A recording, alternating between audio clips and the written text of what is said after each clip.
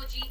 Mam dla Was bardzo fajną informację. E, otóż e, już jutro, czyli w środę 19 listopada e, zagramy w Białymstoku, czyli w naszym praktycznie sąsiednim mieście, które bardzo, bardzo lubimy.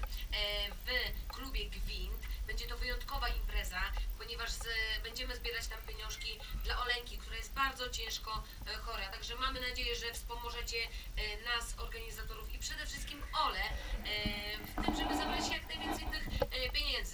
bardzo proste. Wystarczy, że przyjdziecie na tę imprezę, zapłacicie wejściówkę, wypijecie jakieś piwko przy okazji, połączycie po prostu pożyteczne z bardzo e, bardzo przyjemnym tak naprawdę.